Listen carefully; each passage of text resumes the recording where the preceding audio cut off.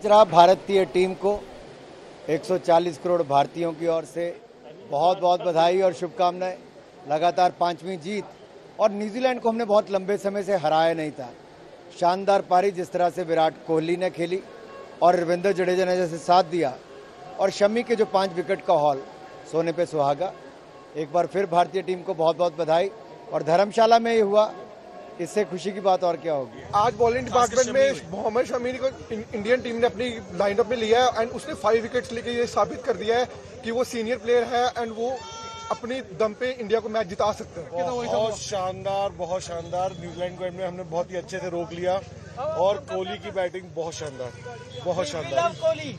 और कोहली का शतक छूट गया उसको मना ले थोड़ा। बहुत मना ले लेकिन जीत गए भाई जीत गए। पहले। क्राउड के प्रेशर के कारण ही वो छक्का मारने का चक्कर में आउट हो गया बाकी बॉलिंग डिपार्टमेंट अपना सही था आज। बहुत अच्छा था। परफेक्ट था। हम लोग लग रहा था था ने पाँच विकेट ले लिया आते ही तीन सौ सवा तीन सौ तो का हम सोचते थे कि शायद पहुँच जाएगी नहीं।